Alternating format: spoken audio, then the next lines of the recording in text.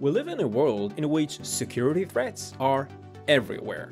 Traditionally, we have had a security gateway to block malicious traffic from the internet. But what happens if the threat arrives through a flash drive?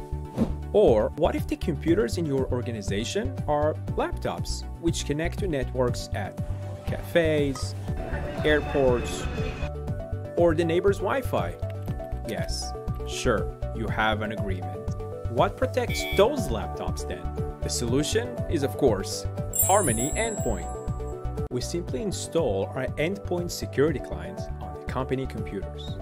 It protects remote employees, devices, and internet connectivity from malicious attacks while ensuring secure, remote, zero trust access at any scale to any corporate application.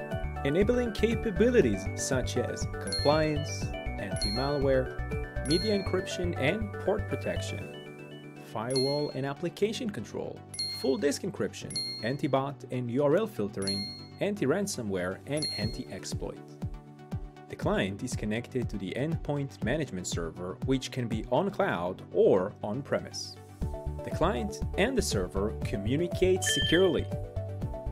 The admin can manage it all through the Check Point Infinity portal over the web if using the cloud management server. Smart Endpoint can be used with an on-premise solution and can connect to the cloud management as well.